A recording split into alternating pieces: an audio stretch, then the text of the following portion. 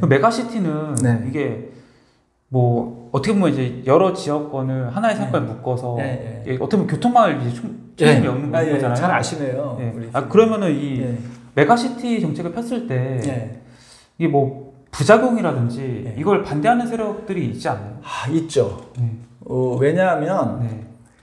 메가시티도 저도 사실은 메가시티에 대해서 공부를 하지만 메가시티 저도 좀 부정적인 면이 없지 않은 네, 게 네. 결국은 어, 지역의 차별이 그쵸. 이루어질 수 네, 있어요. 그쵸. 그러니까 그 서울 수도권이냐 전국적으로 보면 수도권이냐 지방이냐하고 똑같이 네, 네. 예를 들어서 동남권 메가시티를 만든다 그러면 뭐 네. 부산이 네. 위주겠죠. 그쵸. 네. 그러면 부산이냐 저기 어디 창녕이냐 네, 네, 네. 이렇게 어, 돼서 그, 그 사람들은 더 낙후될 수 있는 부분이 있어서 굉장히 조심해서 접근해야 될 부분입니다. 그럼 이제 그러니까 예를 들어서 이제 뭐 경남 도지사 입장에서 예. 와 우리 지역이나 이런 거를 올 수 있는 예산 같은 것들을 예, 예. 부산에 뺏길 수도 있는 거고 예, 이런 예, 문제가 생기는 예. 거잖아요. 그렇죠, 그렇죠. 그럼 유권자들이 어떻게 설득해요 이걸? 근데 그런 부분을 계획을 잘 짜서 네. 어쨌든 기능적으로 잘 그러니까 이제 그 부산하고 경남은 좀 틀리긴 하는데 네, 네.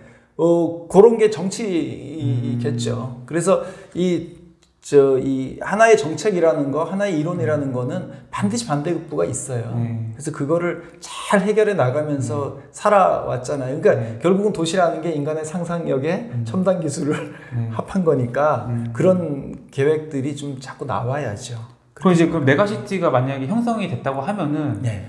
그 주변의 인- 인구들을 이 megacity권으로 흡수를 하는 건가요? 아닙니다. 음. 그 교통을 잘 해서 네. 그 통행 통행 통행권 네. 그러니까 통화권 네. 혹은 저, 저 출퇴근 거리 네. 안에 내용을 좀그 만드는 거죠. 음. 그래서 통학하면서 이용을 같이 시설 이용할 수 있는 아. 그렇게 만드는. 그러니까 이제 뭐. 네. 인구가 어떤 지자체를 뭐 이동하고 이런 개념보다는 실질적인 그렇죠. 생활권을 묶어주는 그렇죠. 거니까. 생활권이라는 게 요즘에 굉장히 중요합니다. 음. 이따 나오겠지만 네네. 뭐 이제는 거의 어, 또 이론이 이제 다시 나오는데 그 뭐 슬세권 해가지고 아. 게 굉장히 그쵸. 굉장히 중요합니다. 음, 알겠습니다. 네.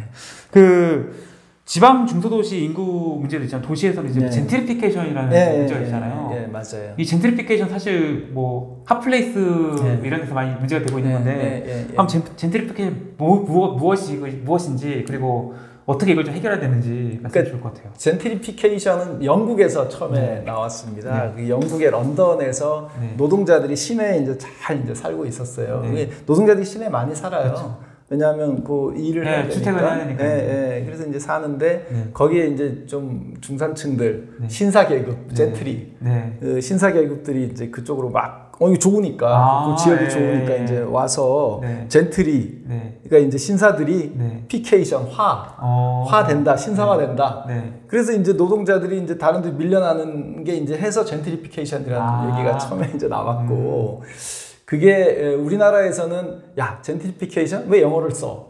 그, 그, 저 국- 국산말로 합시다. 네. 그래서 이제 국립국어원에서 네.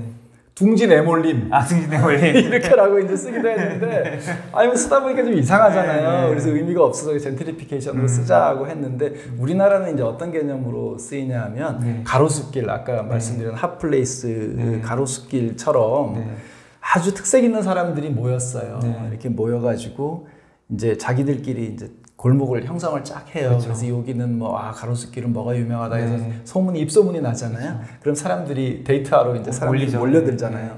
그러면 장사가 잘 되고 그 장사 되죠. 돈이 올라가고. 임대료 올라가겠죠? 예, 네. 그러면 이제 이, 이 사람들이 어떠냐면 주인들이 네. 욕심이 생기잖아요. 그렇죠, 일단 그렇죠. 임대료를 또 올려요. 그래서 올리죠. 임대료를 올리고 그것도 부족하면 네. 너 나가 아. 이렇게 되잖아요. 음. 그리고 이제 좀 더 시간이 지나 거기가 발전을 해. 네. 그러면 이제 건물을 또 새로 짓잖아요. 음. 건물을 새로 지으면서 이제 거대한 자본가가 들어오고 네. 그러다 보면 스타벅스 같은 게 이제 들어오잖아요. 음. 이렇게 들어와 가지고 이 사람들이 이제 쫓겨나는 그런 현상을 젠트리피케이션이라고 하는데 네.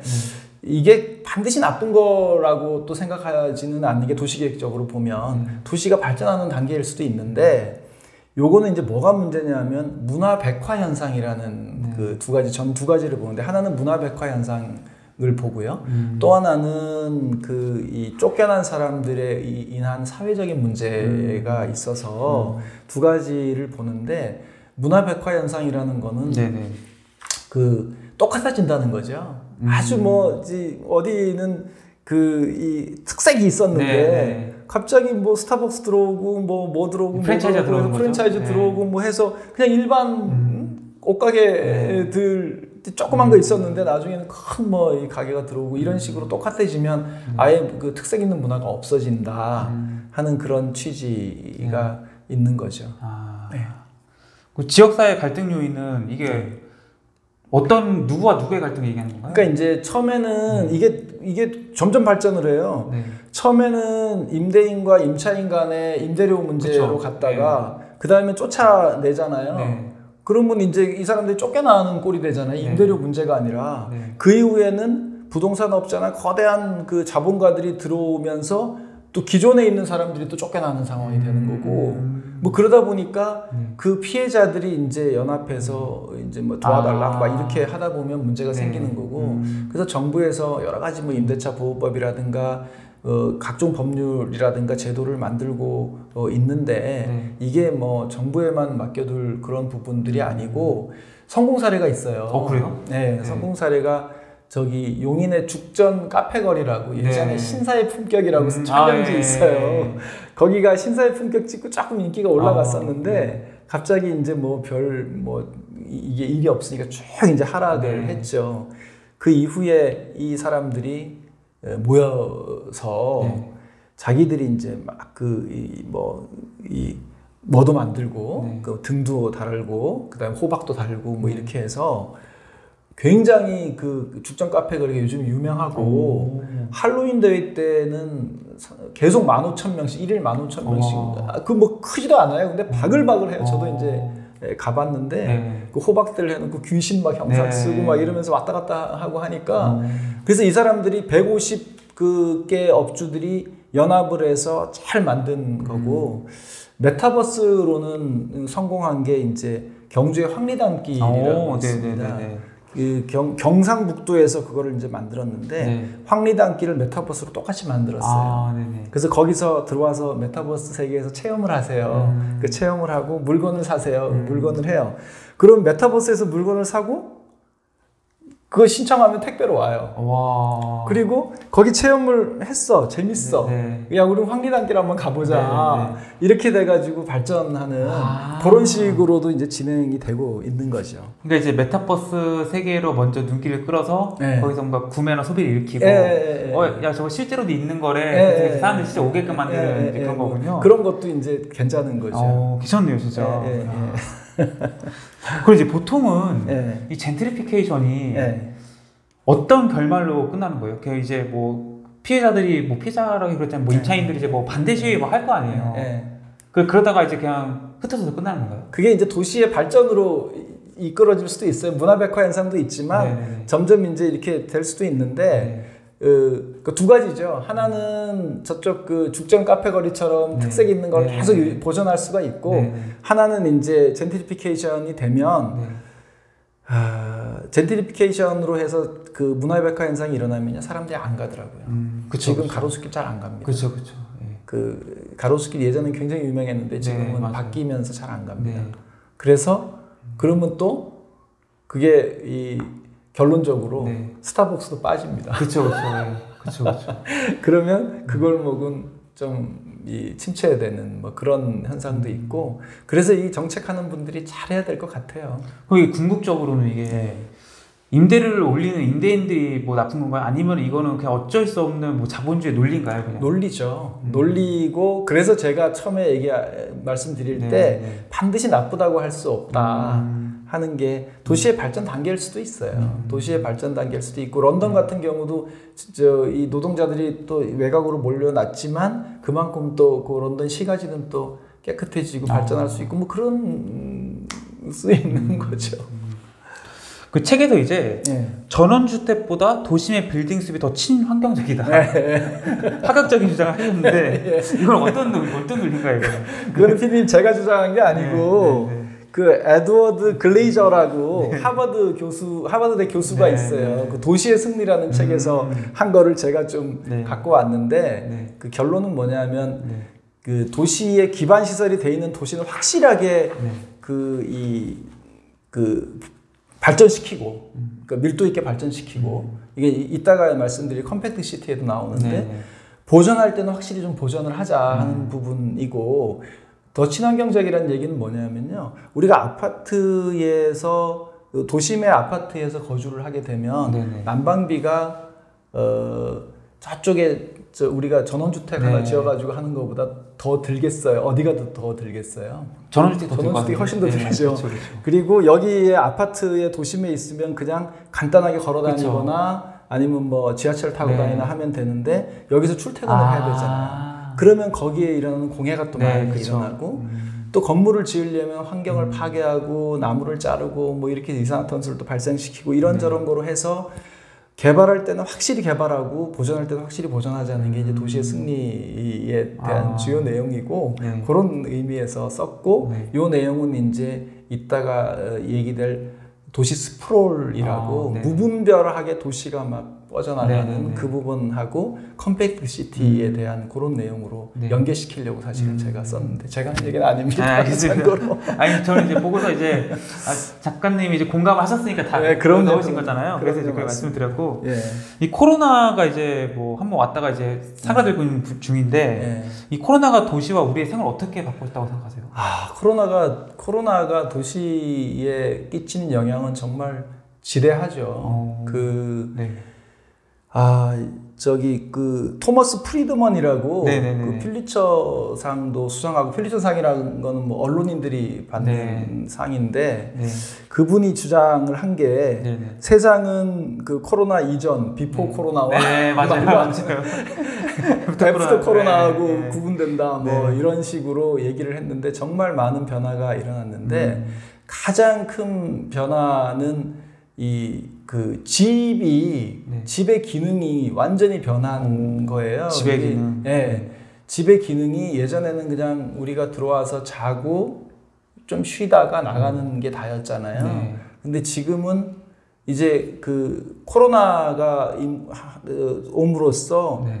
어디 나가지도 못하고 집에서 모든 걸 해결을 해야 되잖아요. 네. 그래서 공부도 수업도 집에서 음. 들었고 그래서 이제 공부방이 되는 거고 그러니까 학교가 되는 거고 네. 그 다음에 직장 재택근무로 해서 음. 직장도 또 그 집이 되는 거고 네. 네. 헬스장에 못 가니까 헬스도 되는 거고 음. 그 다음에 뭐 영화도 그쵸, 못 그쵸. 가니까 영화도 네. 되는 거고 그래서 이제 그 패션에 보면 layered look이라고 있는데 네. 옷을 뭐 요거 입고 그 위에 이렇게 그쵸, 걸쳐 예, 입고. 걸쳐 입고 예, 해가지고 그쵸. 개 걸쳐 입는 사람들도 많은데 네. 그런 layered look처럼 집의 기능이 layered home이라는 음. 뭐 그런 얘기가 나올 정도로 그렇게 됐고요. 두 번째는 직장 문화를 완전히 바꿔버렸습니다. 어, 네. 그러니까 무조건 직장에 와서 일을 해야 된다라는 그런 문화가 있었잖아요. 네. 근데 지금은 어 해보니까 재택근무해도 잘 돼. 네. 네. 그쵸. 그리고 사업주 입장에서는 야 이거 저기 그 건물 임대료를 그쵸. 좀 위해서 좀 네. 줄일까. 그쵸. 그리고 직원들 입장에서는 집에서 하는 게 그 그쵸. 바로 그냥 또 외식도 나갈 네. 수 있고 이런 그 문화를 많이 발전시켰고 음. 그래서 어떤 설문 보니까 계속 했으면 좋겠다는 게 뭐 과반이 네. 훨씬 넘는다고 네, 네. 하더라고요. 어, 그 다음에는 이제 그 슬세권이라고 아까 잠깐 네. 말씀드렸는데 생활권이 굉장히 강화됐는데 음. 그 생활권이 15분 생활권이라 그래서 부산은 아예 15분 생활권 도시를 선언을 해버렸어요. 아 진짜요? 네. 어. 슬리퍼 신고 설렁설렁 하면서 네. 공원도 다니고 뭐도 사고 이렇게 그 생활이 그 안에서 다 이루어질 수 있도록 어. 그렇게 한번 만들어 보자. 이렇게 되다 보니까 이제 복합 용도 개발이라는 음? 그 용도가 예전에는 주거 지역, 상업 지역, 공업 지역 딱 네. 나눠져 있었는데 네. 그거를 좀 가급적이면 좀 묶어보자 네, 네. 하는 뭐 그런 식으로 음. 우리 생활이 완전히 변했고 사람의 이동은 줄어들고요. 음. 물류의 이동은 엄청나게 늘어났잖아요. 네, 지금 그쵸. 물류비가 맞아요, 맞아요. 엄청나게 예, 늘어났잖아요. 그런 그, 그, 그 변화가 있으면서 도시 내에서는 사무실의 그 용도, 네. 그 다음에 대형 쇼핑몰의 용도가 좀 떨어지면서 네. 이제 늘어난 게 이제 물류 관련 시설들. 그쵸. 예. 그런 시설들이 많이 늘어나는 음. 그런 변화가 엄청난 변화가 있었다고 봅니다. 작가님은 지금 이제 임원 생활 8년 하셨잖아요. 예, 예, 예. 임원의 입장에서 예. 이제 그 코로나가 바꾼 그 직장인의 예. 그 업무 패턴 예. 예를 들어서 뭐 예. 재택근무라든지 예, 예. 뭐 smart work라고 해서 뭐 예. 거점 예, 오피스를 예, 만들었는지 예. 이거에 대해서 임원의 시선에서 예, 정말 그게 업무의 효율성 높, 높여주거나 예. 정말 동일하다고 생각하세요? 그 저희도 그것 때문에 고민을 많이 했어요. 네. 제가 그 코로나 한참 될때 네. 그 총무 인사 총괄 임원을 했거든요. 네, 네, 그러니까 네. 이제 전사의 인사 제도 뭐 네, 네, 네. 교육 뭐 이런 걸 다 이제 총괄하는 임원이었는데 네. 그래서 저희는 더 그런 거를 이제 신경 써서 봤어요. 네. 그래서 이 그 재택근무가 해도 문제가 네. 없는지.